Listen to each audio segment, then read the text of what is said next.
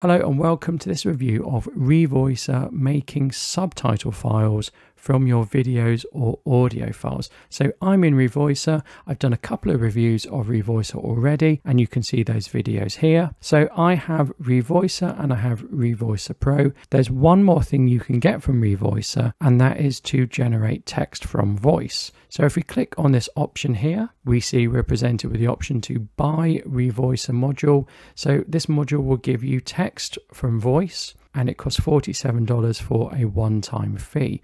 So I'm going to buy that and then I'm going to review it. And of course, it is a 60 day money back guarantee if you're not happy. So let's get on and buy it. So my first Revoicer review I've actually downloaded from YouTube and I've uploaded it to Revoicer because I'm going to see how well Revoicer does in converting it into text and subtitles. Audio language is English British.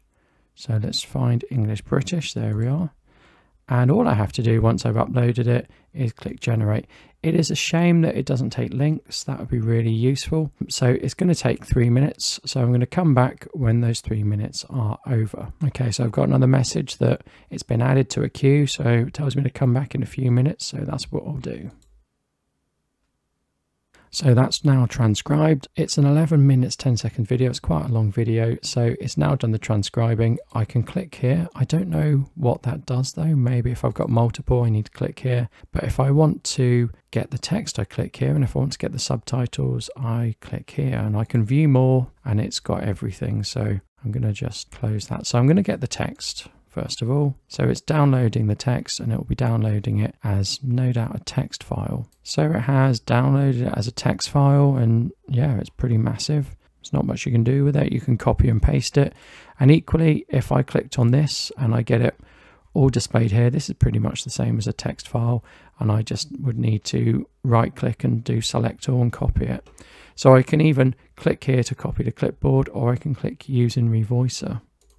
So if I click using Revoicer. Let's see what happens. So I can't remember the word count, but it's put it all into Revoicer. It hasn't got the word Revoicer correct, done Revo or Rio. Let's have Ella doing this and let's generate the audio. Now I suspect I've got too much characters here. So I'm going to delete some. Here we go. And let's generate the audio. So it's now generating the audio. I did try to generate it before and nothing happened, which makes me think that I had far too many characters. So let's listen to this with Ella. Hello and welcome to this review of IEO. What Vevo does is it creates speech files from text. You pick a voice, you type out what you want it to say and you generate.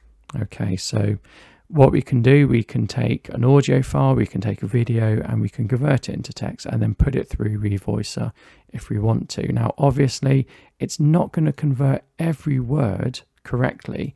It's done quite a good job, but it hasn't done every word correctly. So I'm going to go back to this generate text from voice and let's go to get subtitles. And again, I know it's starting to download the subtitles as an SRT file. So I've opened up this SRT file and we can see we've got the text against a timestamp. So this is in an SRT format. So what you could do is you could upload this directly to YouTube and it will put your subtitles in. Now, of course, YouTube has this functionality built in. You might want to create subtitle files for putting in your video editors so that you can have the text sort of display on screen and things like that. There are many uses of subtitle files, but don't forget you can get it automatically in YouTube. Now, which is better? I don't know, but certainly it lives up to the promise of you can get text and you can get subtitles.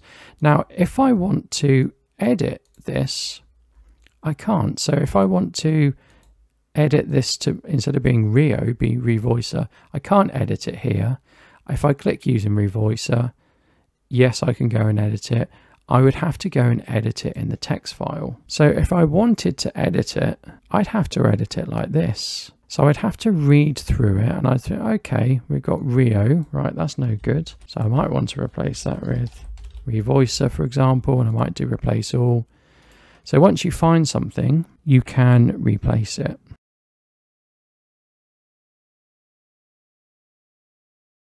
Now with Happy Scribe, there's a lot more formats you can download from, but what I've done to be consistent and have a fair comparison, I've downloaded the text file. It has time codes, I've turned those off. It displays the speaker name, I've turned those off. And like I say, I've downloaded it. And I'm going to compare the two files you get. So this is our file from Revoicer. Notice it's got that Rio in and it's all together. And this is the file from Happy Scribe. Now, it hasn't got Revoicer correct, got it slightly different, but straight off, the layout is much better. It's laying it out in lines rather than all together. Let's just pick a random line and see which did the best. So now I've picked these two sentences out. I've got the sentence from Happy Scribe here and I've got the sentence from Revoicer here. There's very little difference between the two of them. On the whole, I'm very happy with Happy Scribe. I've been using it for years. There's the occasional thing I'm going to need to change, like the word Revoicer, because it's not common language. So sometimes it can get things like that wrong. And in both of them, it got them wrong, although it was closer in Happy Scribe. But if we just pick a random sentence, I'm pretty happy that Revoice has done a good job. So Happy Scribe costs 20 pence per minute. So if I had run this through Happy Scribe at 11 minutes, that would have cost me £2.20. Now, one thing I will say, when I bought Revoicer's upgrade, it said $47, but I was actually charged £46. So it didn't quite convert so I was charging my local currency rather than being charged in dollars. So it actually cost me more than I was expecting. As $47, I would be expecting to be below £40, but actually I was charged £46. So if you are doing lots and lots of subtitles or getting text from lots and lots of sources like video and like audio files, then I think it does make sense to pay that upgrade for Revoicer because very soon at 20 pence per minute, you are going to go past your $47 or your £46. However, if you are going to do it sparingly, then maybe it's better to go on a pay as you go basis or to look at an alternative. Because don't forget, you've got to pay $67 to get the initial revoicer anyway. So if you are then paying another $47 to upgrade to allow you to do subtitles and transcriptions, that's starting to get expensive. From a quality point of view, I think the output from Revoicer is quite good and it's nice that you can just copy it straight back into Revoicer and have things said in a different voice. Thank you. Goodbye.